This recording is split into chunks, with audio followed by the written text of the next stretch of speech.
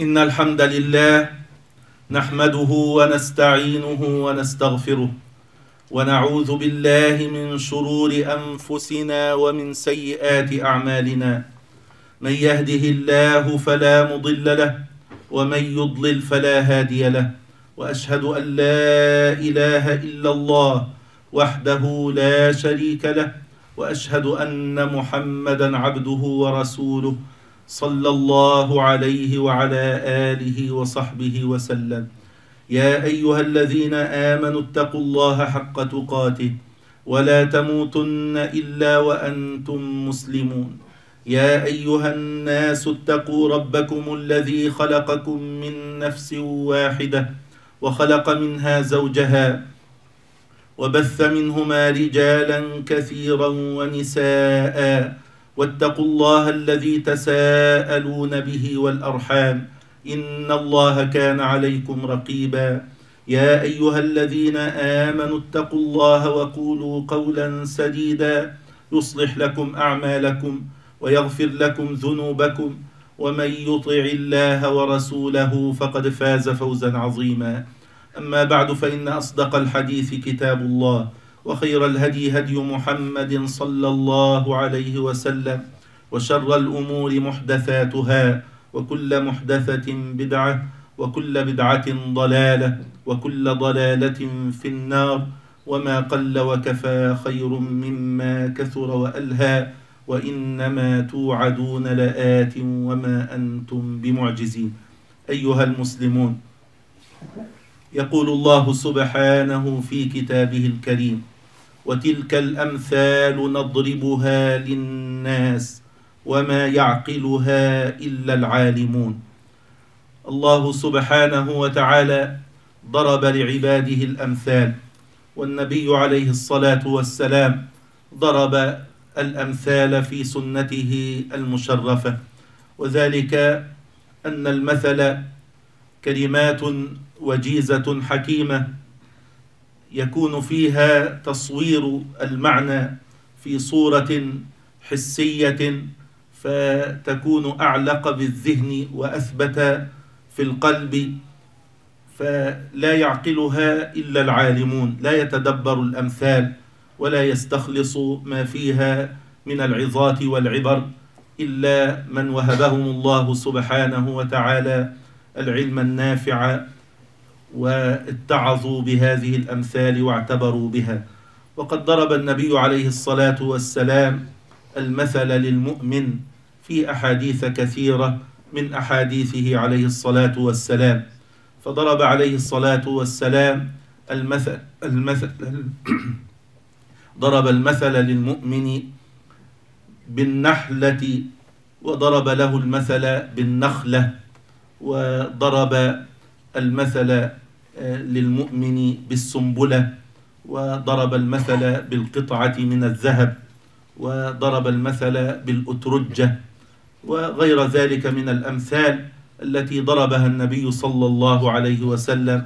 ونذكر بعضا منها في هذه الخطبة لنأخذ ما فيها من العظة والعبرة وليحرص المؤمن على أن يكون ممن يستحق أن يضرب له هذا المثل. فضرب النبي عليه الصلاة والسلام المثل للمؤمن بالنحلة. في قوله عليه الصلاة والسلام مثل المؤمن كمثل النحلة. لا تأكل إلا طيبا ولا تضع إلا طيبا وإذا وقعت على عود نخل لم تكسره. هنا يلاحظ وجه التشبيه. يعني المثل يكون فيه مشبه وهو المؤمن ومشبه به وهو النحلة أو النخلة أو السنبلة أو غير ذلك. ويكون هناك وجه للشبه يعني ما وجه شبه المؤمن بالنحلة.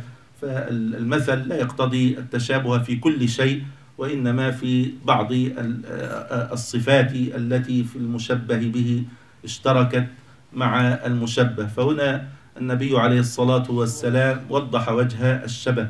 النحلة لا تأكل إلا طيبا فالنحلة طبيعتها كما فطرها الله سبحانه وتعالى تنتقي الأزهار الطيبة وتأخذ من رحيقها لا تقع على قذر ولا نتن ولا شيء سيء وإنما تختار الأزهار الطيبة وتأخذ من رحيقها ولا تضع إلا طيبا تضع العسل الذي فيه الشفاء والذي هو حلو المذاق. ومن صفات النحلة التي ذكرها النبي عليه الصلاة والسلام أنها هينة لينة رفيقة إذا وقعت على عود نخل لا تكسره للطفها ورفقها وخفتها. فهنا ينبغي أن يكون المؤمن كذلك. لا يأكل إلا طيبا.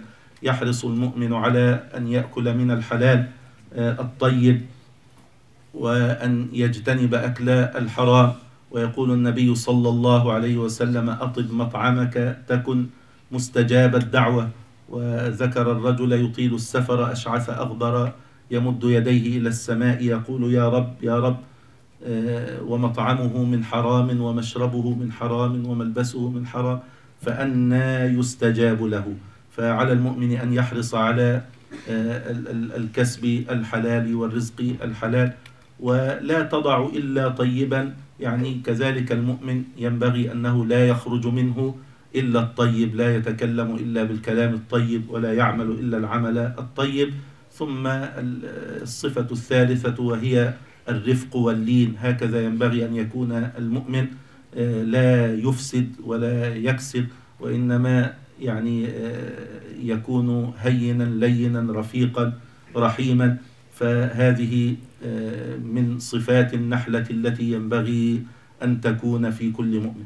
ثم ضرب النبي عليه الصلاة والسلام المثل للمؤمن بالنخلة وذلك في قوله عليه الصلاة والسلام مثل المؤمن كمثل شجرة لا يتحات ورقها. خبروني ما هي. يعني لا يتحات ورقها يعني لا يسقط ورقها في فصل الخريف كبقية الأشجار التي يسقط ورقها. فقال مثل المؤمن كمثل شجرة لا يتحات ورقها.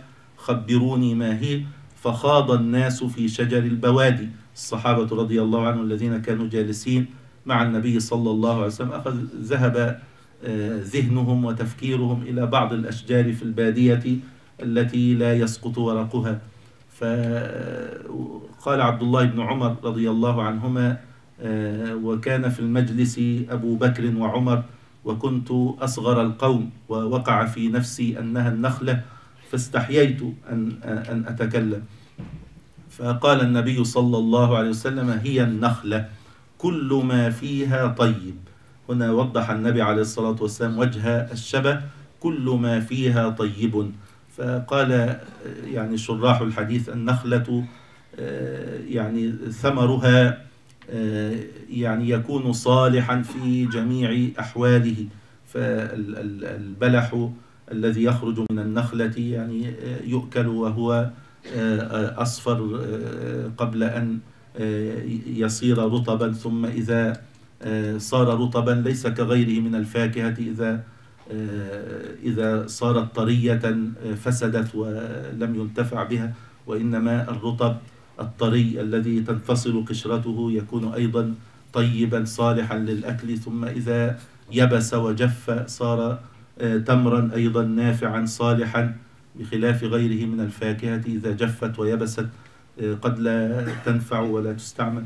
ثم بقية أجزاء النخلة آه، كلها نافعة جذوعها آه، يستعملونها في البناء وفي صنع الأشياء النافعة والجمار الذي يكون في لب الجذع وفي داخله طيب يؤكل وينتفع به وهكذا وسعفها وجريدها كله له منافع وكله طيب فهكذا المؤمن ينبغي أن يكون كل ما فيه طيب سمعه وبصره ويده ورجله ولسانه يتكلم بالكلام الطيب ونحو ذلك فهكذا المؤمن كل ما فيه طيب. كذلك مثل آخر ضربه النبي صلى الله عليه وسلم قال مثل المؤمن كمثل السنبلة وفي رواية كمثل الخامة من الزرع. تفيئها الريح تارة وتعدلها تارة ومثل المنافق كمثل الأرزة لا تزال قائمة حتى تكفئها الريح. هنا يضرب النبي عليه الصلاة والسلام المثل للمؤمن آه، بالسنبلة سنبلة القمح. ووجه الشبه أن السنبلة يعني تأتي الرياح فتقلبها إلى هذه الجهة وتقلبها إلى هذه الجهة آه، فالريح تحركها وتعدلها. وأما المنافق فضرب له المثل بالأرزة وهي شجرة الأرز أو شجرة الصنوبر وهي شجرة تظل قائمة مهما أتت الرياح لا تغير فيها شيئا حتى تأتي ريح قوية فتكفئها مرة واحدة وتقلعها من أصلها وتكسرها. فقال شراح الحديث المقصود هنا أن المؤمن آه، يبتلى ويتعرض للبلاء ويتعرض للفتن في آه، حياته فيميل ويعتدل مع هذه الابتلاءات آه، تكفر بها ذنوبه ويرجع بها إلى الله تعالى وترفع بها درجته. فهذا حال المؤمن بخلاف المنافق فإنه يعني يظل على حاله من الفساد لا يرجع ولا يتوب وحتى يأتيه بلاء شديد يقصمه ويهلكه مرة واحدة. كذلك يقول عليه الصلاة والسلام مثل المؤمن كمثل القطعة من الذهب كمثل القطعة من الذهب آه، ينفخ عليها صاحبها وهي لا تنقص ينفخ عليها صاحبها وهي لا تنقص أو في بعض ألفاظه آه، نفخ عليها حتى احمرت آه، وإذا وزنت لم تنقص. وهذا الحديث ورد في مسند الإمام أحمد رحمه الله من حديث عبد الله بن عمرو وصححه الشيخ الألباني رحمه الله. فهنا ضرب النبي عليه الصلاة والسلام مثلا للمؤمن بالقطعة من الذهب يعني ينفخ عليها بالنار ويوقد عليها النار حتى تحمر ومع ذلك فهي لا ينقص منها شيء ووزنها آه، ثابت. فقالوا هذا المقصود به ما قد يتعرض له المؤمن من الشدائد أن المؤمن مهما تعرض له من الشدة فإنه لا ينقص ولا تنقصه الشدة شيئا من إيمانه بل هو يعني ثابت على دينه وثابت على إيمانه. وضرب النبي عليه الصلاة والسلام مثلا آه، للمؤمن الذي يقرأ القرآن والذي لا يقرأ القرآن. قال مثل المؤمن الذي يقرأ القرآن كمثل الأترجة طعمها طيب وريحها طيب. ومثل المؤمن الذي لا يقرأ القرآن كمثل التمرة طعمها طيب ولا ريح لها. ومثل المنافق الذي يقرأ القرآن كمثل الريحان ريحها طيب وطعمها مر ومثل المنافق الذي لا يقرأ القرآن كمثل الحنظلة آه، طعمها مر ولا ريح لها أو كما قال عليه الصلاة والسلام فقسم الناس هذه القسمة الرباعية آه، المؤمن الذي يقرأ القرآن وهو أكمل الأقسام فضرب له المثل بنبت آه، طيب الطعم طيب الرائحة وأما المؤمن الذي لا يقرأ القرآن فكمثل آه، التمرة طعمها حلو ولكن لا ريح لها. فينبغي للمؤمن أن يحرص على أن يكون مثله كالأترجة يكون يكون طيب الطعم طيب الرائحة نسأل الله سبحانه وتعالى أن ينفعنا وإياكم بما قلنا وسمعنا. أقول قولي هذا واستغفر الله.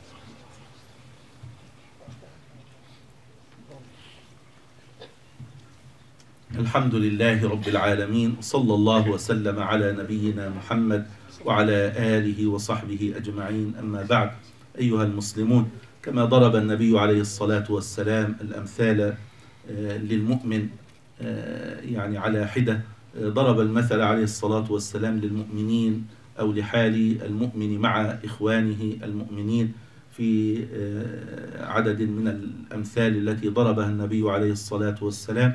منها قوله عليه الصلاة والسلام مثل المؤمنين في توادهم وتراحمهم كمثل الجسد الواحد إذا اشتكى منه عضو تداعى له سائر الجسد بالسهر والحمى. وفي الحديث الآخر يقول عليه الصلاة والسلام المؤمن للمؤمن كالبنيان المرصوص يشد بعضه بعضا. فهنا ضرب النبي عليه الصلاة والسلام مثلين للمؤمنين في علاقة المؤمن بالمؤمن وحال المؤمن مع إخوانه المؤمنين أنه في المثل الأول كالجسد الواحد فكل المؤمنين جسد واحد لا يغني عضو منه عن عضو آخر.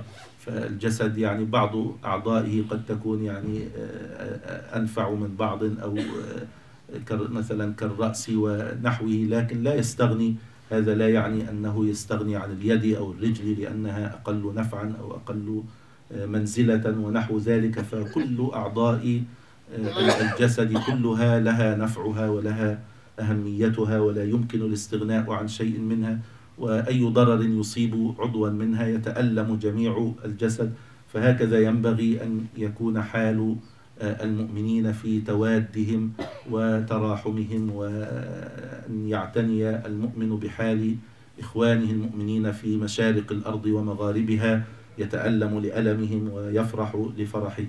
وكذلك المؤمن للمؤمن كالبنيان يشد بعضه بعضا فالبنيان كأحجار البناء. كل حجر يكون مثبتا للأحجار التي فوقه وتحته وعن يمينه وشماله وهو أيضا مثبت بما حوله من الأحجار فكل من المؤمنين ينبغي أن يكون مثبتا لإخوانه على الحق معينا لهم وكذلك هم يعينونه ويثبتونه. نسأل الله سبحانه وتعالى أن ينفعنا وإياكم بما قلنا وسمعنا. اللهم أصلح لنا ديننا الذي هو عصمة أمرنا وأصلح لنا دنيانا التي فيها معاشنا وأصلح لنا آخرتنا التي فيها معادنا واجعل الحياة زيادة لنا في كل خير. واجعل الموت راحة لنا من كل شر. اللهم إنا نعوذ بك من زوال نعمتك ومن تحول عافيتك ومن فجاءة نقمتك ومن جميع سخطك. اللهم اكفنا بحلالك عن حرامك وبطاعتك عن معصيتك وبفضلك عن من سواك. اللهم آمين. وآخر دعوانا أن الحمد لله رب العالمين. وأقل